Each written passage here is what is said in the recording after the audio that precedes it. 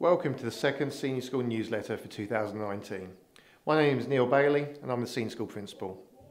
It's been great to see our Year 9 students head out for their first days of city experience over the past two weeks. Whereas previously half the year level went to the city on Wednesday and the other half on Friday, we now rotate over the events over a two-week cycle of Wednesdays and Fridays. Students and teachers are enjoying the convenience of Mernda Station and have just travelled into the city on the train as an opportunity to develop independent travel skills that they will use over the coming term and year for all of their planned excursions.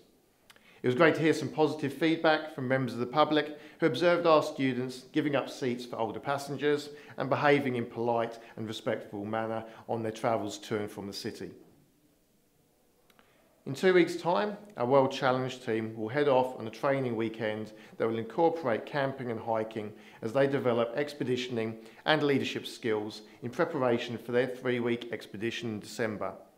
World Challenge is a student-led expedition to Cambodia where students will trek, visit tourist sites and carry out a community project as a school in Siem Reap. The students have been working for the past year with Ms Crosswaite, Ms Devitt and Mr Milne to learn about Cambodia as well as developing teamwork skills in order to plan this amazing trip. Any student in year 10 or 11 who's interested in joining this overseas experience should contact one of the teachers to find out more.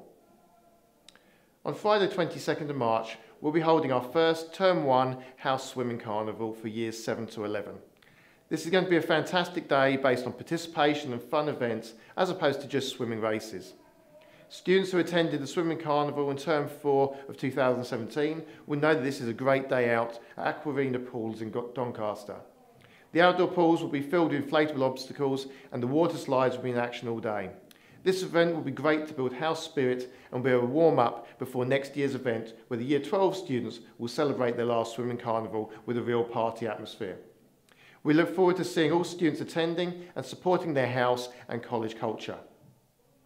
Next week, teachers will start filling out interim reports to give parents an update about a student's effort, behaviour and work habits so far this term for each of their subjects.